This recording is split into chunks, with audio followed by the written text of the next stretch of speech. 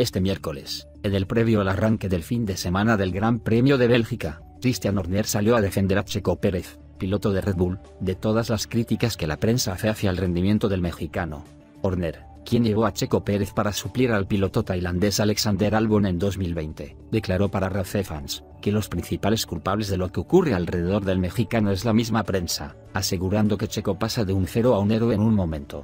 El problema son ustedes, ustedes resumen todo como que es un héroe o un cero muy rápido y él no es inmune a ello. Creo que él respondió lo mejor posible a esa conversación y habló dentro del circuito para hacer una gran actuación, comentó Horner. Respecto a su rendimiento el jefe de la escudería aseguró que están contentos con el mexicano, aunque enfatizó que Checo debe mejorar, si así, durante la clasificación.